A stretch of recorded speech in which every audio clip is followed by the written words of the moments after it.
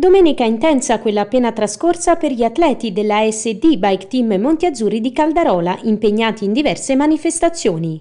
La più importante sicuramente è stata la Maratona di Roma, a cui hanno partecipato Gian Vittorio Antenucci e Daniele Cruciani, che hanno chiuso la gara in 3 ore e 17 minuti circa.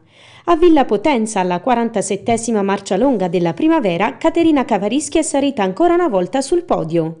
A Loro Piceno invece il primo appuntamento del circuito Transubike con tanti atleti partecipanti. L'associazione ricorda che proseguono le iscrizioni. Per avere maggiori informazioni è possibile consultare la pagina Facebook o il sito asdmontiazzurri.it.